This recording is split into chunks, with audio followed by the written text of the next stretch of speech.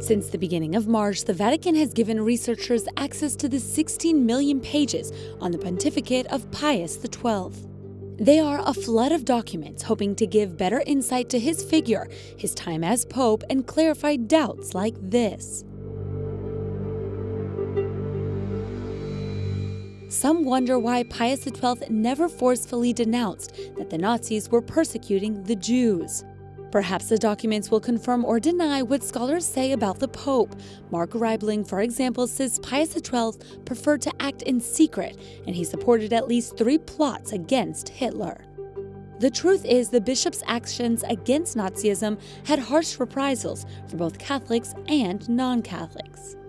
An example was the decisive pastoral letter by the Dutch bishops. It protested against the Jewish persecution and was read in all the parishes in the country.